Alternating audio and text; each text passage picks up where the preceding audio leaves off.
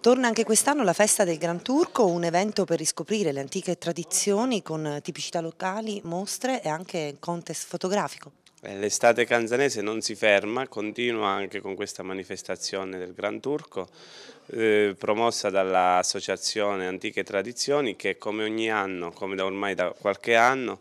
continua eh, a far conoscere le bontà del territorio e soprattutto una pietanza che comunque a Canzano è famosa. Quali sono gli eventi in programma per questa quattro giorni?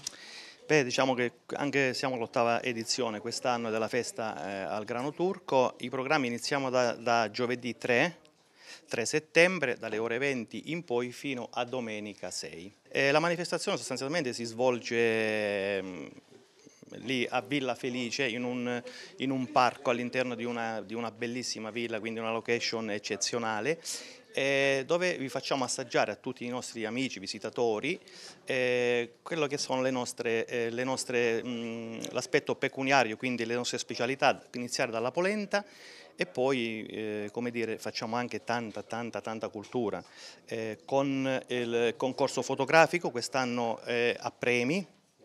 quest'anno aperto anche ai più piccoli, quindi tutti i bambini della provincia di Teramo eh, della terza media, e quindi dove eh, devono fotografare le bellezze e la natura dell'Abruzzo e per arrivare poi alla domenica dove facciamo proprio la vera rappresentazione del grano turco, cioè dallo scardazzare allo sgranare il grano turco, proprio come si faceva una volta con la zappa, con questi antichi, eh, antichi mestieri che ci hanno, come dire, in qualche modo insegnato i nostri genitori e i nostri nonni.